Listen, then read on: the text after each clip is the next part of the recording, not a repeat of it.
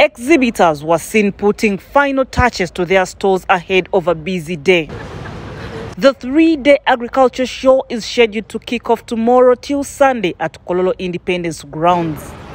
Since morning, Vision Group staff have been warming up to the expo by having a chat with guests who are already there. If you intend to make way to Kololo tomorrow, use the Wampewo Avenue to make your life a bit easier. The 2022 Harvest Money Expo training sessions that kick off tomorrow have been expanded with the addition of new enterprises compared to the previous editions. Farm equipment like all types of tractors, such as the walking tractors, are all going to be exhibited.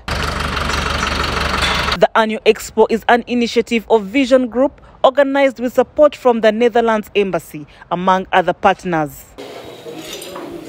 Those planning to attend the event will pay 10,000 shillings for entrance, while those planning to attend special training sessions will have to pay 10,000 shillings extra.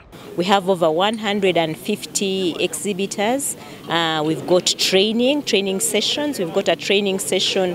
Uh, we've got two training sessions every day uh, on poultry, on piggery, on matoke growing, on um, bananas, sorry, uh, on, I would like to say that also tomorrow we've got um, an insert, uh, the Harvest Money Expo guide in the New Vision newspaper. It is big, over 56 pages, and uh, we've got 150 listed addresses, contacts for farming, farming experts and service providers. And we would encourage you to buy, to buy the New Vision tomorrow also, so that you can have that guide as your take home. We're doing this as the National Expo and we have worked with uh, several sponsors, we're working with the government. This is going to be the anchor agricultural expo in this country.